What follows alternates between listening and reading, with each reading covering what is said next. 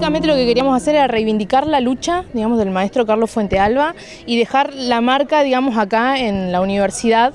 Este, lo sentimos mucho. Eh, nos duele mucho que esté cerrada la causa de que los responsables intelectuales y políticos este, no hayan sido debidamente eh, juzgados y, nada, básicamente queríamos dejar la marca este, acá en la universidad y, y, nada, además de ser una fecha importante también tenemos hoy la visita del rector y también vamos a aprovechar este día y su visita este, también para reclamar un poco y visibilizar las condiciones de la universidad y de nuestro centro de estudiantes que particularmente este, está tiene todo el techo caído, se inunda y no es solamente eso, sino que también hay muchas de las aulas en las cuales cursamos que no están en su debida condición.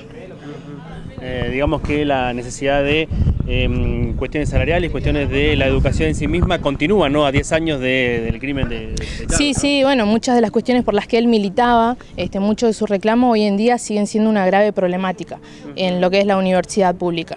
Y este compromiso sigue y queremos que se expanda a las generaciones siguientes, de gente que vaya a venir acá el día de mañana eh, a estudiar en la universidad y también que quede acá en el barrio y que la gente que pase por acá lo vea, que se civilice, que no se olvide su lucha y que se mantenga siempre la memoria activa.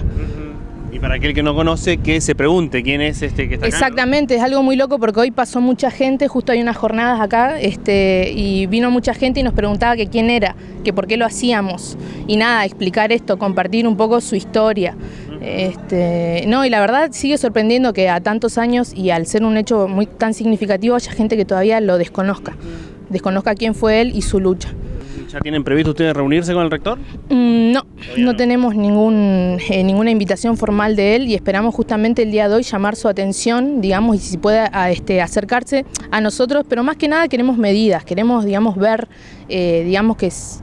Sí, eh, bueno, la idea es en, en, una esquina poner a Carlos, a Sandra, su compañera, por, por acompañar su lucha y mostrarse también como dirigente por el asesinato de su esposo y, muchos retratos de docentes marchando, porque actualmente también estamos volviendo a lo mismo, el gobierno no está cumpliendo con las paritarias, no está cumpliendo la ley y se vuelve a tocar este tema, ¿no? que el asesinato de Carlos fue en el 2007, se cumplen 10 años, pero parece que no fue tan lejos.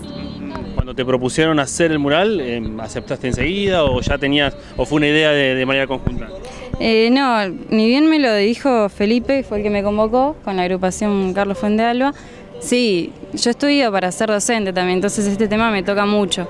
Y sí, me encanta hacer murales y tocar temas muy sociales, tratar de dejar un mensaje claro. Me parece que es, es lo principal de un mural.